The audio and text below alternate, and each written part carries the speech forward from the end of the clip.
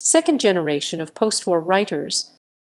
The second generation of post-war writers Daier Saijan Hupaizuo Jaya, Dainiji Sengo ha Sakka is a classification in modern Japanese literature used for writers who appeared on the post-war literary scene between 1948 and 1949.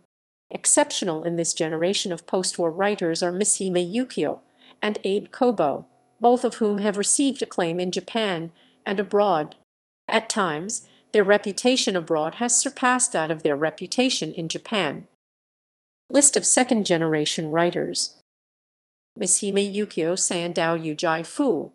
Abe Kobo and Bu Gongfang, Ooka Shohei Da Gang Shengping, Shimao Toshio Dao Wei Mingxing, Hotta Yoshie Kutan Shan Wei, Inoue Mitsuharu Jing Shang Guang King,